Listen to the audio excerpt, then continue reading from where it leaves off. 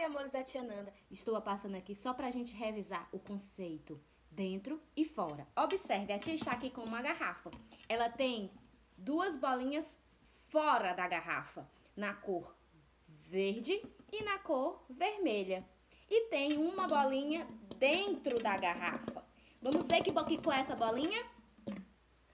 Essa bolinha é azul. Agora, as três bolinhas estão fora da garrafa. E assim a gente revisou o conceito dentro e fora. Qual é a bolinha que está dentro? A azul. Quais as bolinhas que, que estão fora? A vermelha e a verde. Agora vocês vão lá no livro, na página 91, que tem uma atividade bem legal para vocês fazerem. Tá pedindo para você colar papel colorido dentro da garrafa grande. Vocês vão observar, ver qual é a garrafa grande e vai colar vários pedacinhos de papel dentro dessa garrafa. Então, crianças, vão lá fazer a atividade, viu? Beijos, tchau!